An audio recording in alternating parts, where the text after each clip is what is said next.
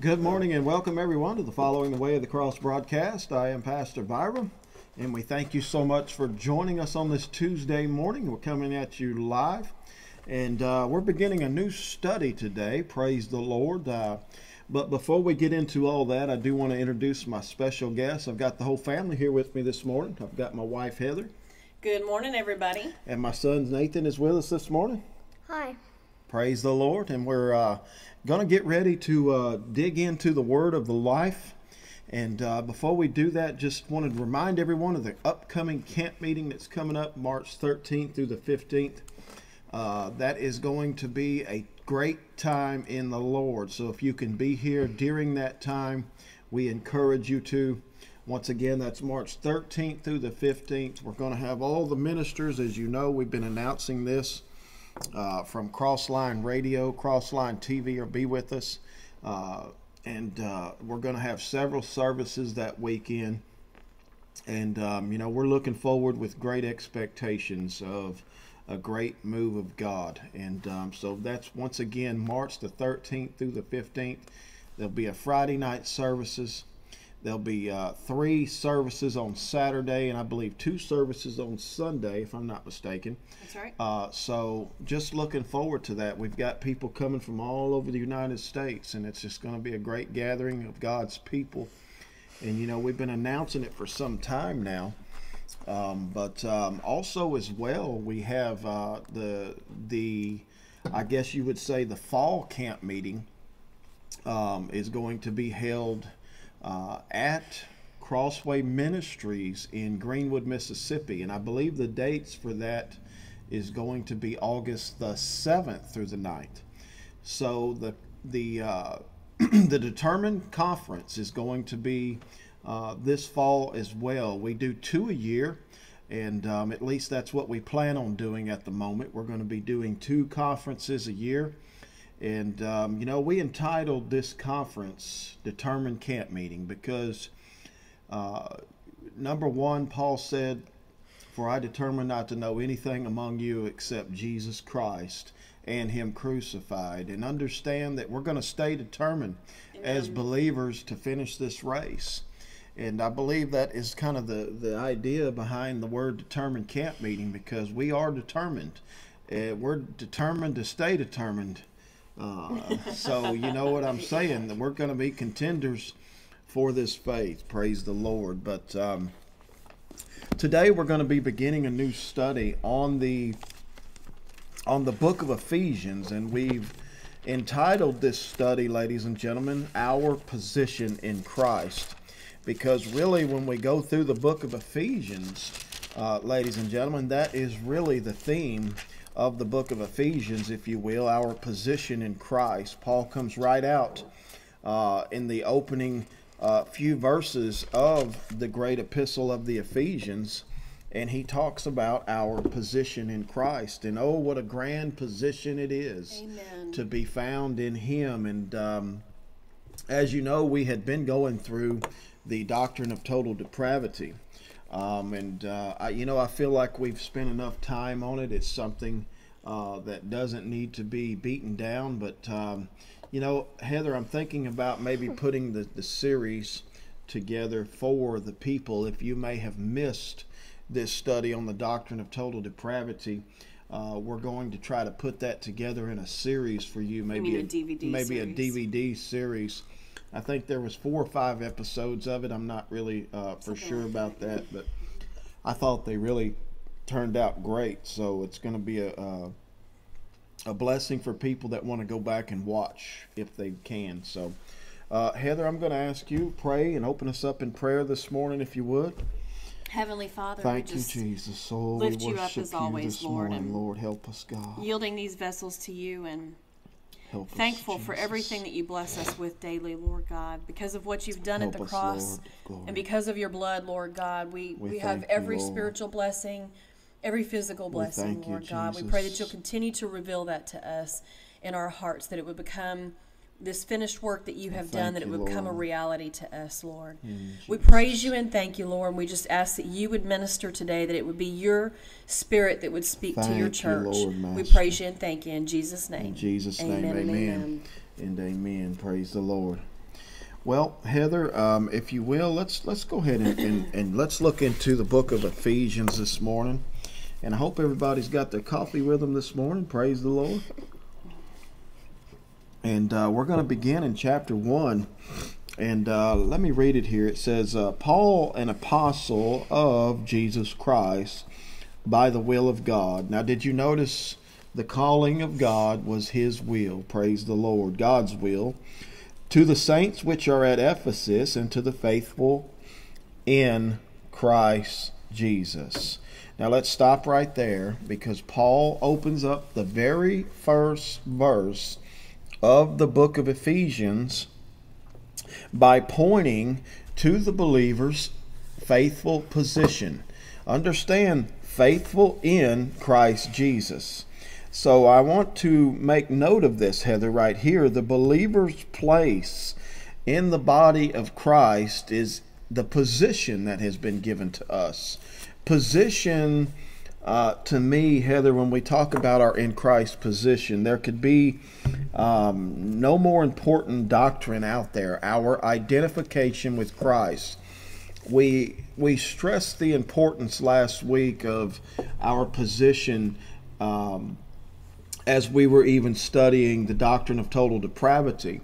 Uh, you know, as great as a doctrine as the doctrine of total depravity is, I made mention that the doctrine of identification with Christ was just as important with that uh, as is. So, our position in Christ, when we talk about our position, Heather, and let's explain to the people what that means. Um, there may be new listeners out there that haven't followed this broadcast in a while. And when we talk about our position, that is what happened at the salvation experience, ladies and gentlemen. This is the best way I know how to explain that. At the salvation experience, when you first became a believer in Christ, when you were saved, when you were regenerated, when you were born again, all those terms can be used there. Um, what happened was in the mind of God, Heather, God took us out of the old body of Adam. He crucified the old body of Adam and he placed us down into the literal body of Christ. Understand, that is how God sees us, Heather, in Christ Jesus. So now, uh, because of that position today of in Christ Jesus, we are now free from condemnation. We are now found blameless in Christ. We now have all of these benefits that flow from Calvary's cross in our new position. So that is my idea of position uh, in Christ Jesus. And go ahead and, and talk to the people a minute about it. I know you got some things on your heart there. Well, you know, Paul spoke vehemently about this subject, and we've, you know, we've covered this. This isn't the first time we've talked about identification with Christ when we covered Romans 6, um, you know, when we've covered Galatians, Paul makes reference to I'm crucified with Christ. Nevertheless, I live, yet not I, but Christ that liveth in me. In Romans 6, Paul talked again a whole lot about um, knowing this. Uh, what is it we need to know? We need to know that we are crucified with Christ, that we were buried with him in baptism, many people, especially around this time of year when Easter comes up, the subject of resurrection becomes people's focus.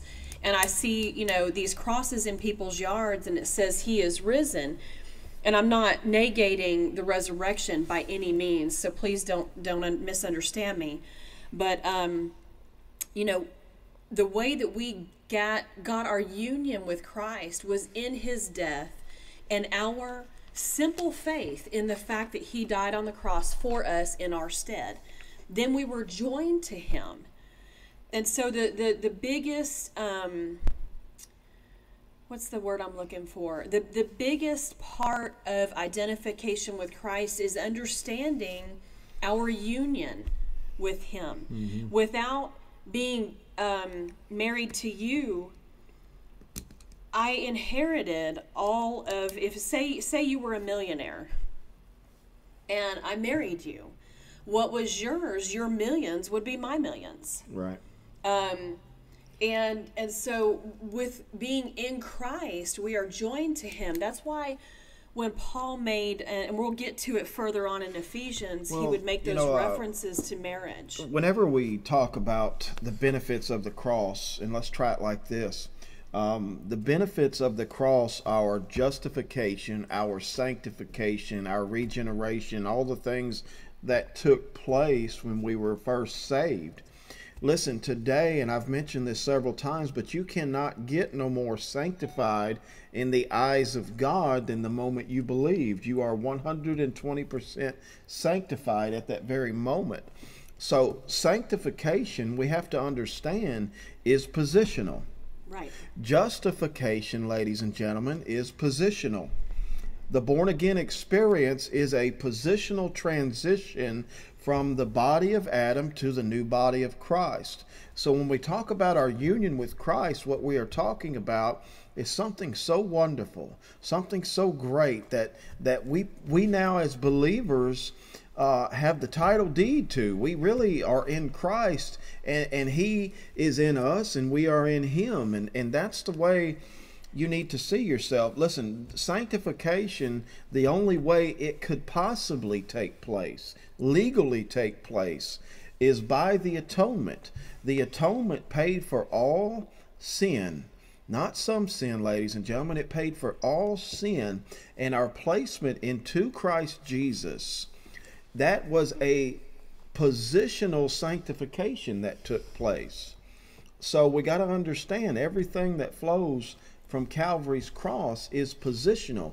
When we talk about being in Christ, we're free from guilt, we're free from fear, we're free from condemnation of the devil, we're free, we're free, we're free because of that place. Now, Paul, ladies and gentlemen, he would talk in several places uh, through the scriptures about how we are blameless. Now, he's going to mention this actually in verse 4, and I'm skipping ahead a little bit, but I'm going to come back to this verse later. He says, According as he have chosen us, where? In him. In him. Before the foundation of the world, that we should be holy, without blame, before him in love. So the word blame there, we are holy and without blame before them before him, excuse me, by our faith in the sacrifice. That's the only uh, means by which God can justify us, sanctify us, and move us to that new position. It only comes through faith in the cross of Calvary. Now, we're going to talk about this uh, positional process in great depth, so I encourage you to stay tuned uh, to these broadcasts as we go deeper into it. But uh, anytime, Heather, you see those phrases in your Bible of in Christ, by Christ, through Christ, or you see the phrase in Him, by Him, through Him, those phrases always point you directly to the cross of Calvary and what happened 2,000 years ago that day. So, uh, really, when we talk about being found blameless, the only way we can be found blameless is to be found in Jesus Christ and what he did at the cross. So, God forbid that I should glory in anything. I am made whole, I am made sanctified by what he did completely on the cross of Calvary. I want to include Nathan in this conversation. Um, and you know, there's simplicity in Christ. He's uh, grown up with us the majority of what he remembers, I guess, you know, cognitively. Um, we've been knowing this message during that time. Uh, Nathan, let me just ask you a, a, a question. How is it that we, um, how is it that we are in Christ? How are we born again? When we Talk place to the mic. when we place our faith in Christ Jesus. When you place your faith. So, water baptism is not what placed you into Christ, right? Mm-hmm. Right? So, it was just by believing what Jesus did? Mm-hmm. That's right. Amen. So God made it so simple that even a child could understand it. Um, you know, He knows that it's not water baptism that saved him, and if if it was, my husband and I were discussing this this morning. Is um, you know, if it was water baptism that saved us, then what you've if you believe that you're saved because you were water baptized and we're not against water baptism. It's an ordinance of the church. We should do it. It's an outward thing just like uh, it's an outward symbol just like this wedding ring is for my marriage but it's not my marriage. The wedding ring is not my marriage. The water baptism is not your relationship with christ and it's not what saved you. Anybody can get wet. Um, so then it would just be simple faith in what he has done. Yeah. like you said earlier i mean that takes all the glory from man we can't glory in that um, because it's not like you could say our tendency would be to uh, say well i had such great faith to believe this you know that's that's our tendency and that's you know uh, where depravity would come in but um, you know i thank god that he made it so simple That's right. You know, our our position can be, you know, sometimes uh, scholars will use the word our standing. Uh, sometimes they will use the word in Christ. Um, you, you you know, there's different little phrases, and don't get confused um, today with the terminology that we're using here. It's it's you know literally, and I've used this analogy before, but when when we uh, first believed, when we first put our faith in the sacrifice for the remission of our sin, um, that is when the born again experience happens. And there's a lot of things that, that take place at that very moment. Our justification, our sanctification, and our regeneration take place simultaneously. Instantly, we are born again.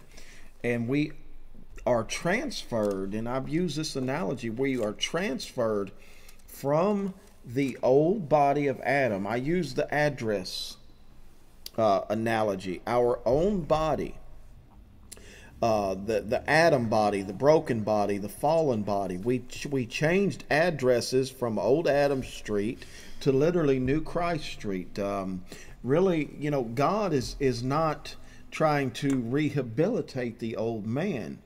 Uh, what he is doing is he's recreating a new man in his son.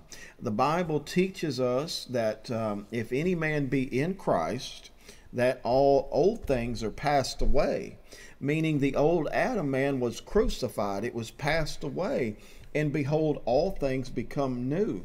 So he made us new, he restored what was fallen and lost at the cross of Calvary.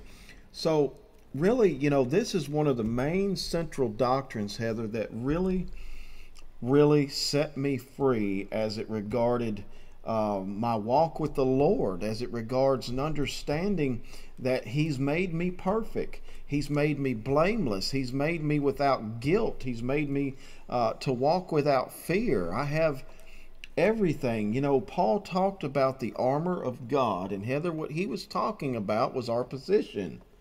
All those things that he spoke about, and we're going to get to that later on in this in this epistle of Ephesians, where he talked about that. But when we talk about the armor of God, we're talking about our placement into Christ.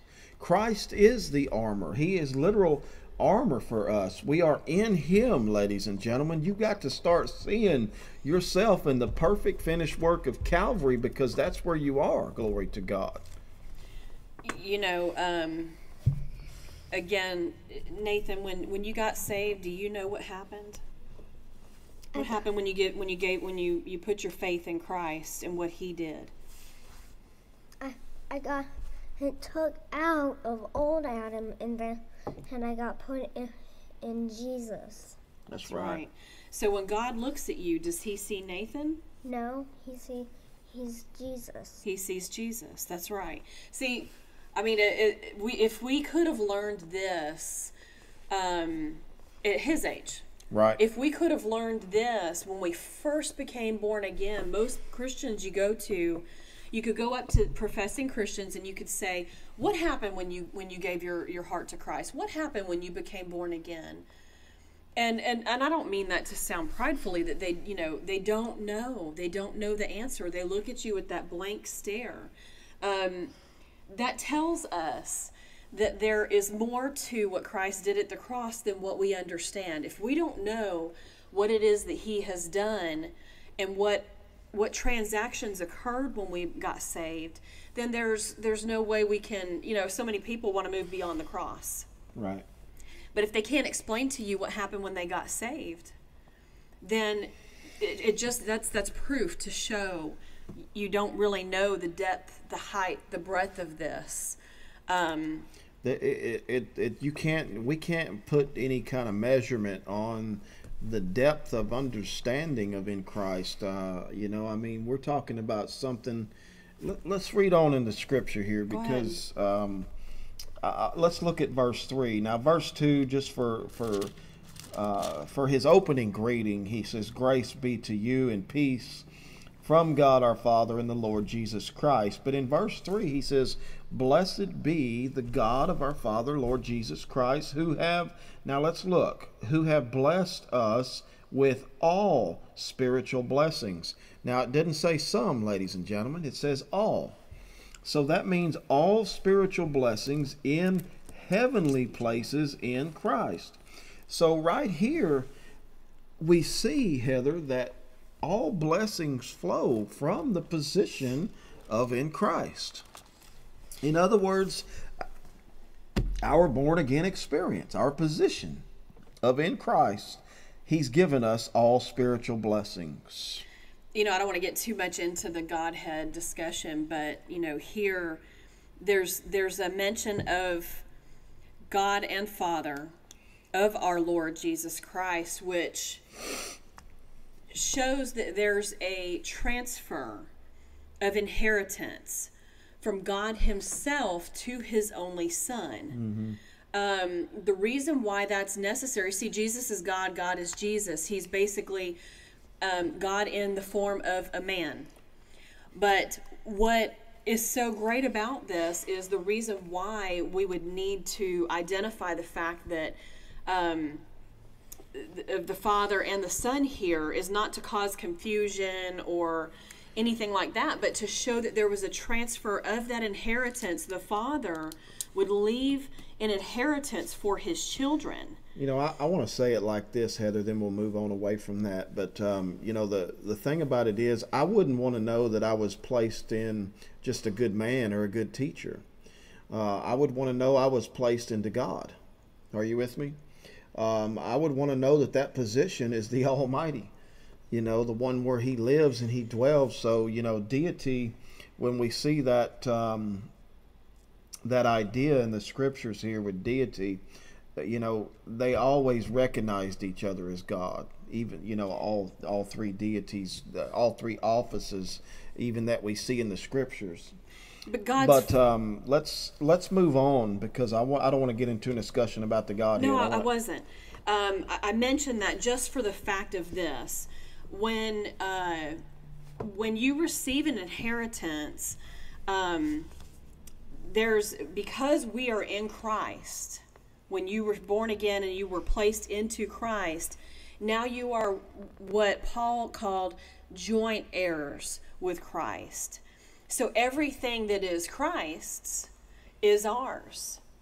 And when God sees us, he sees us in his son. He sees us in Christ Jesus. My point was what God did was he created an environment, although him being God, um, and placing us in himself, so to speak, as you, you said a minute ago, is he created an environment, a human being environment.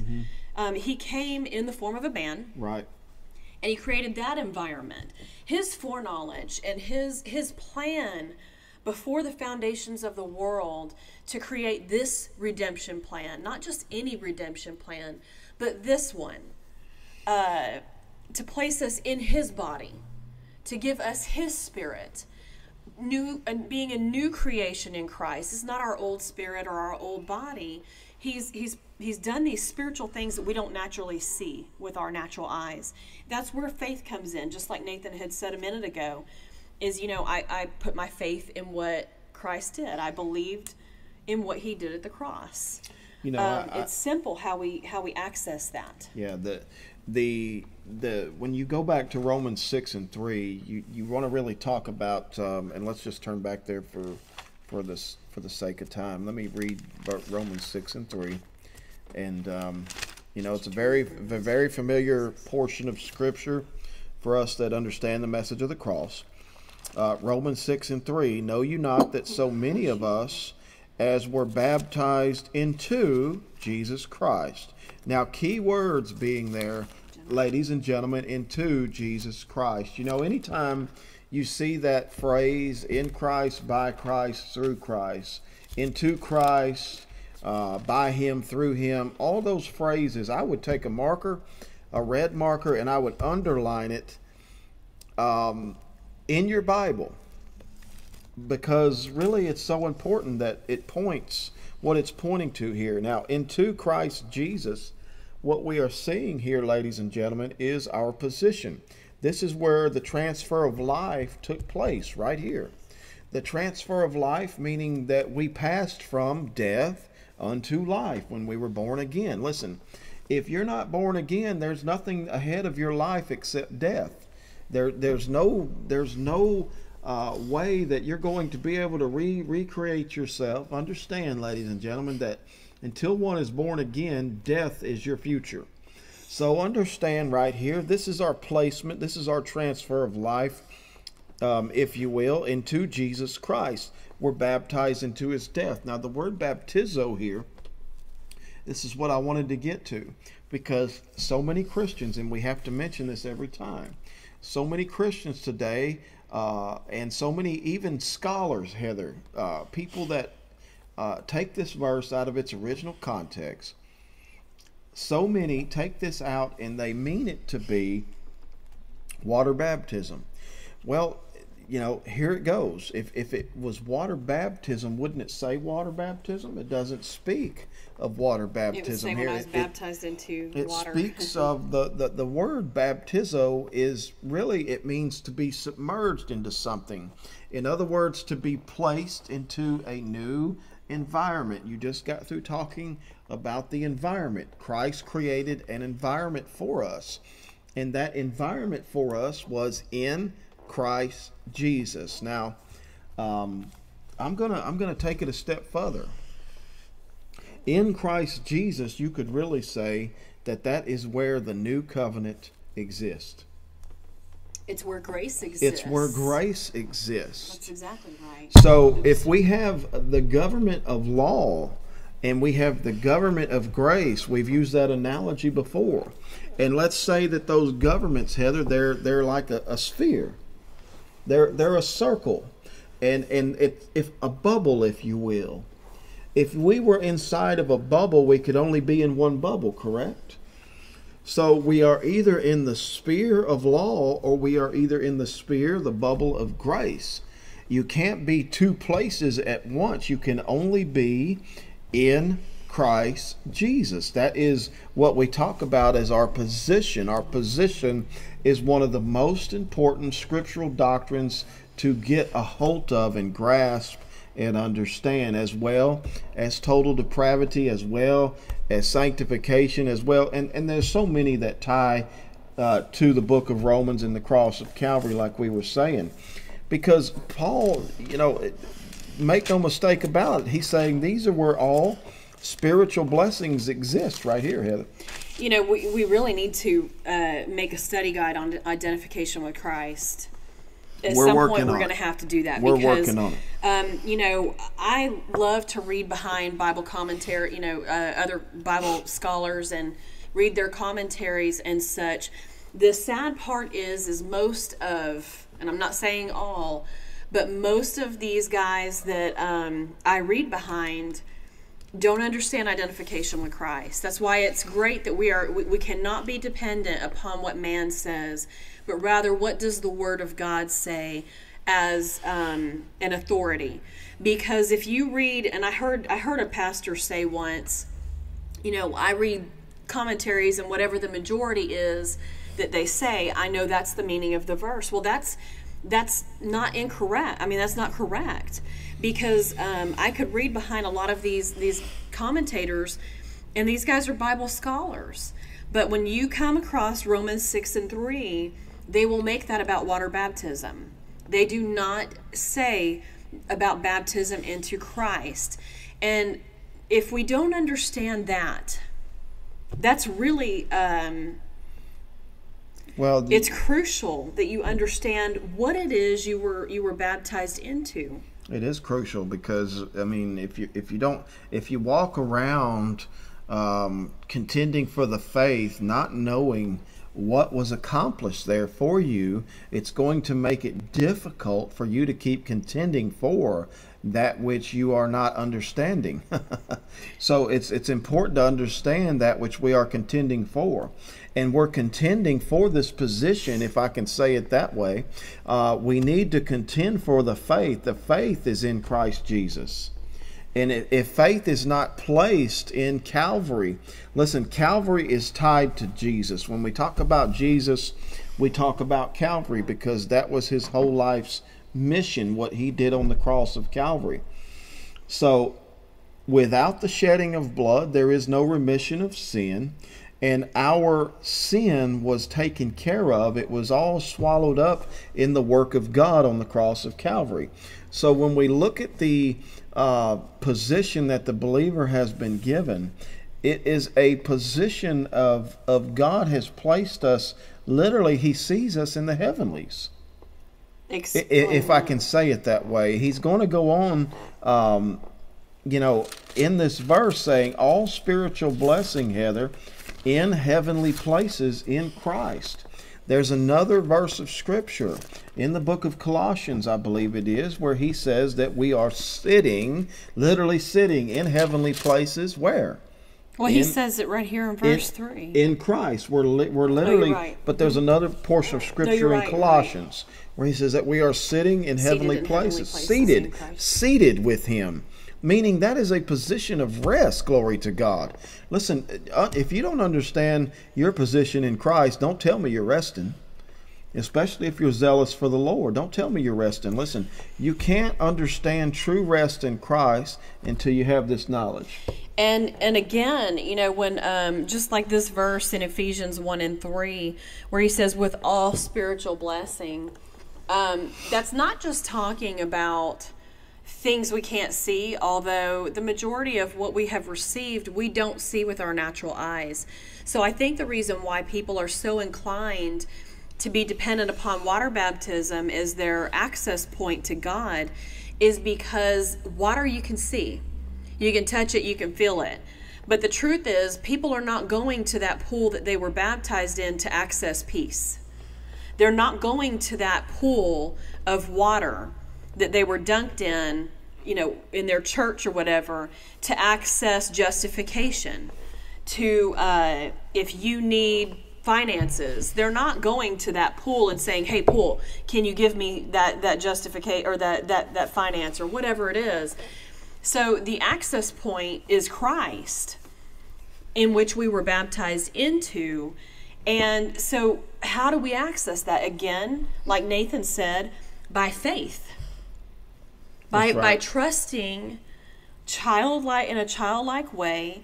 If anything I tell this child, he believes it. That's right. Even if it was wrong, he believes it because mama told him. Uh, so if we could believe God that way, you know, um, so when we're talking about spiritual blessing, everything that we receive is because of what he did. Did we see the cross 2,000 years ago and the sacrifice that he made there? No, we didn't. But how we access again is, You know, is uh, in the unseen. I, I think um, you know whenever whenever whenever Nathan accepted the Lord in his heart, you know he was five years old. Now, if if a child that's five years old can understand um, that Jesus died for his sins, let me tell you, ladies and gentlemen, whenever he got saved, I know it was a true conversion. He had been uh, watching a uh, a television show on TV. Can we let him tell? Um, you want to tell the story, Bud? We had No? been we had been watching a television show on TV, um, and and you know Nathan, the television show was really it was a it was something that we picked and um, that he was um, uh, listening to, and it spelled out the salvation experience really, and and the next thing I know, I'm minding my own business, reading the commentary, and I you know Nathan had walked over to me uh, with tears in his eyes because the Lord had just really touched his heart. and um, you know he says, "Daddy, I want to receive Jesus in my heart." And you know, uh, if I fi- and, and So he wasn't coerced by anybody. Right. He wasn't coerced by anything. The Holy heart. Spirit drawed him uh, to receive Jesus. And listen, whenever the gospel is presented, um, what it should be doing is number one, revealing the heart. And then at that salvation, that initial salvation experience, and this is where I wanted to get to, little Nathan here was transferred from his old condition into his new position. Now, the condition still exists because we're still in a fallen body until the trump sounds. But when Nathan was born again, he became a new creation in Christ at that moment. And he was saved. And, and then uh, to top it all off was like gold, man. I mean, we had we had a brother came in and preached the very next day. Um, I believe it was by Brother Fernando Diaz. And Nathan received the baptism of the Holy Spirit the very next day after he was saved, just by childlike faith. Glory Yeah, I mean, God. Brother Diaz didn't even preach on the baptism of the Holy Ghost. He didn't even, I don't believe he even ministered on that that day. His sermon was completely uh, different. But the Lord moved on, on Nathan, and, um, you know, he came forward and wanted to be baptized in the Holy Spirit. And And because we had taught him about the baptism Yeah, we've of the been Holy telling him Spirit, about it. and, and he, you know, he understood. Can I tell you, ladies and gentlemen, today you need to teach your kids about the baptism of the Holy Spirit with the evidence of speaking with other tongues. My God, if you're not teaching them that, you are doing them more harm than good. Now, did you hear what I said? You need to teach your children about the baptism of the Holy Spirit with the evidence of speaking in other tongues. And, uh, you know, what a blessing. And you'll see a change. We've seen a true change uh, in Nathan's heart and his life, you know, ever since then. Uh, because it's just, it's power. It's power to be a witness, it's power to live for God. And um, what a disservice to not teach your children that, ladies and gentlemen, are in Christ's position. So Nathan here became a new born again creature in Christ. Glory to God. Amen. You know, um, it's a work that the Holy Spirit does. It's a work that the Lord does. Just this finished work. Again, it just takes that simple faith Right. simple faith uh, that that even a child could understand. So it doesn't have to be overcomplicated. Um, but you know, they have this. Children have this ability to think more abstractly than we do uh, because we want to make it fit. We want two plus two to equal four, and we want to see physically how it all adds up. And um, you know, they're able to. You can tell them something, and they trust they believe they uh, you know for them it's a reality they can imagine that being if we could be that way if this this truth that we're explaining about identification with christ and your position the reason why we're talking about your position doesn't always line up with the or your condition doesn't always line up with the position is Paul talked about this constantly, knowing this, mm-hmm. growing in the grace and the knowledge of Yeah. of Jesus Christ. The the thing is is in mm-hmm. our minds we don't know it. We don't understand it. And Proverbs says with all getting, get understanding. So, what has happened to us when we became born again is such a wonderful thing, and we've been given this 401k benefit package. And the problem is, we don't know it. Yeah. We, we've got to know, and, and this is what Paul taught us. excuse me. In the in the book of Romans, he would say these words uh, in verse three of chapter six. Know you not. He would go on in verse six. Um, he would say, knowing this. In verse nine of that chapter, he would say, knowing that. Uh, in other words, there's something you've got to know, ladies and gentlemen. Right. And and what Nathan, tell us what is that we need to know. Here, talk to the mic. Talk to the mic. Jesus Christ. Jesus Christ and Him crucified is right. So we understand we got to know this. We've got to know our position. And this is what Paul is saying here. When you look at Romans chapter 6 and you look at verses 3 through 5, he's talking about position really all through the chapter. Uh, but he really deals with it hard in verses 3, 4, and 5. I'm going to read it there. I read verse 3 a while ago. Therefore, here's verse 4. Therefore, we are buried with him. That's your in Christ position right there. With him, ladies and gentlemen. By baptism into death. Death, we were crucified on the cross of Christ. Paul said in Galatians 2:20, "For I am crucified with Christ." So he says, We are buried with him with baptism into death, that like as Christ was raised up from the dead by the glory of the Father, even so we also should walk in the newness of life. The newness of life refers to your position in Christ. There's no other way you can have newness of life unless you have been born again. That is where newness of life occurs.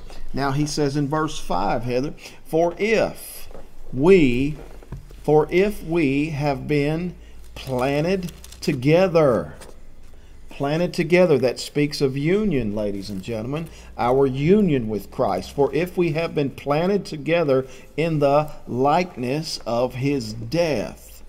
Now, did you catch that? If we have been planted together in the likeness of his death, we shall also be in the likeness of his resurrection. So understand right here, this is full of meaning as it regards our union with Him. We have been tied to Him. Literally, we have been taken prisoner. Paul referred to himself as a bond slave of Christ. In other words, we don't become slaves anymore of the sin nature. The sin nature has now, once we've been born again, it has been severed. Death separates us from a relationship. How many know that today? Death always severs the relationship. So the relationship with the old sin nature here, Paul's saying, it's over. It has been crucified, and you are to have no dealings with that uh, thing anymore. You are now placed in Christ. Then he goes on in verse 6 knowing this, that our old man is crucified with him. There it is. Our position, our death with him. It's a union. We have we have a placement in Christ and understand as long as our faith stays anchored in the cross of Calvary, we're going to continue to have God's strength and God's grace with us in this walk. You know, I want to say something about um, when you're talking about the old man and death and being crucified. And, and please don't take this the wrong way. I happen to, unfortunately, have have lost a lot of people uh, in my lifetime that were close to me: parents, grandparents, best friends. Um, so I have I have unfortunately been very acquainted with this process, and um, the Lord has changed my mind through this this message and this understanding about how I approach death um, and burial. Mm-hmm. And uh, so I'm going to paint this picture. Um, a lot of people find it necessary to go to a funeral to have, you know, to discuss about those people, to honor them. And there, I don't see anything wrong with that. Um, although it's not something I partake of frequently uh, anymore, just simply because I've been too acquainted with all of that. But um, a lot of people didn't didn't agree with this when our daughter passed away. We did not go to the burial. We have never seen where she has been buried. We made that choice, and that's that's our own choice. And I'm not I'm not crucifying anybody that that has. Uh, but the reason why I mentioned this is because there's she's not there anymore. We have no dealings with that death at this point. Now, if somebody in our church, if they passed away, we would go to their burial. You know, I'm not, so I'm not saying the, the reason why I said it that way is because the relationship we're to have with death is no relationship at all. You know, the man said uh, when he was talking to Christ, he said, Let me go bury my father first. And he said, Let the dead bury the dead. His point was kingdom of God. move on with life. Yeah. With me. Well, the the Move thing of it is. Heather, we have to, uh, you know, we have to be sensitive to people, um, and, and not not everybody has this knowledge. You know what I'm saying? Of course. And um, so, but uh, with that said, you know, we, with without. Um, without getting into uh, any controversy here, you know, we we we knew that our daughter wasn't there anymore, Right, yeah. Because we had been graciously given uh, the understanding of the scriptures here as it regards position, and and listen, that's that you know when somebody dies, there's nothing more than flesh. There, it's just, just it, there's nothing just there anymore. It's just right. bones. It's just dirt. There's no life there. you know, there's no life there.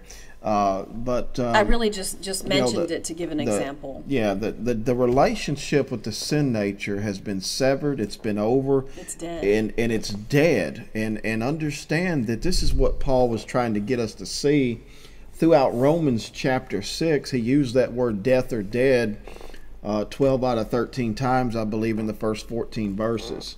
So we understand, ladies and gentlemen, that. Um, uh, our position in Christ, and this is what we're going to be talking about on a daily basis for a while, or until the Lord leads us to another subject.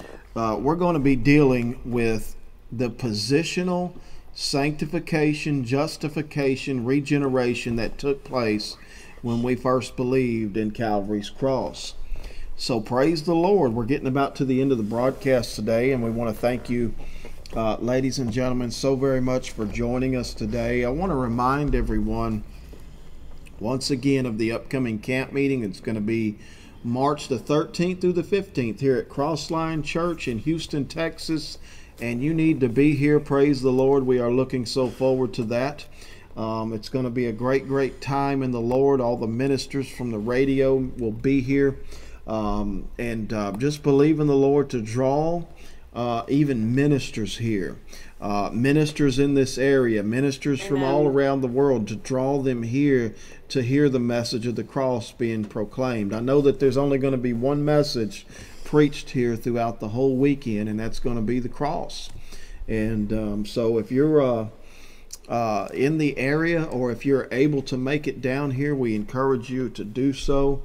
As well, we are going to announce that the following camp meeting uh, will be coming up August the 7th through the 9th, and that's going to be um, at uh, Pastor Wayne Voss's church. He'll be hosting the camp meeting over there in August, um, and that's going to be August the 7th through the 9th in Amen. Greenwood, Mississippi. And um, so, ladies and gentlemen, uh, that's all for today. But if you will join us here uh, tomorrow morning, uh, at the same time, we will be going back through uh, these verses of Scripture and tackling some new ones as it regards our position in Christ. Praise the Lord. Well, we love each and every one of you.